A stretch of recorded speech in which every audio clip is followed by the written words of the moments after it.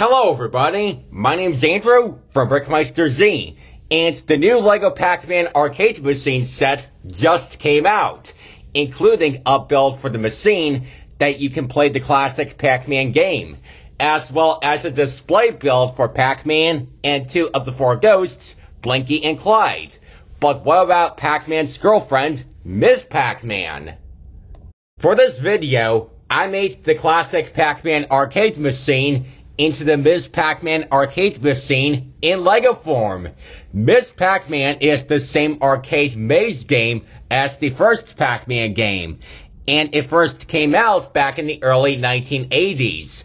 So, I decided to make the LEGO Ms. Pac-Man set, and this is a modification inspired by the original LEGO Pac-Man set.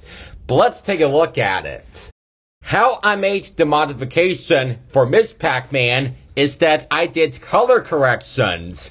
The original Pac-Man machine is in yellow, and the Ms. Pac-Man machine is in blue.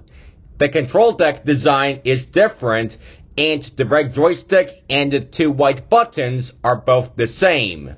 And just like the official LEGO Pac-Man set, we have the crank on the side that you can turn and it will move Miss Pac-Man and the ghosts around the maze. And I designed the maze walls by using a lot of the tile pieces in coral, just like in the arcade game. And those tiles are a different color compared to the original Pac-Man maze walls. And on top of the arcade machine, there's the same display build from the original LEGO Pac-Man set.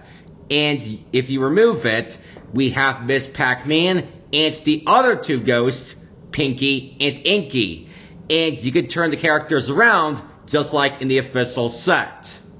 I designed the buildable Miss Pac-Man character with a bow in her hair and two red tiles for her lips, as well as new printing for her eyes that are found on one of those slope curved 3x3 corner pieces, and that is found on both sides.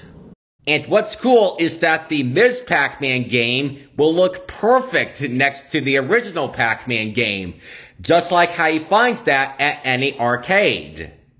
As much as I like the original LEGO Pac-Man set, I think LEGO might want to make a Ms. Pac-Man set that will expand the LEGO arcade theme. But overall, I like how my custom set slash modification turned out good.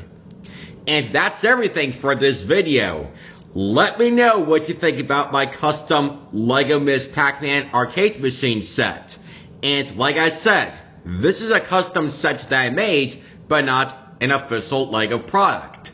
Don't forget to subscribe to the BrickMeisterZ channel for more videos, and I'll see you all in the next one. Bye.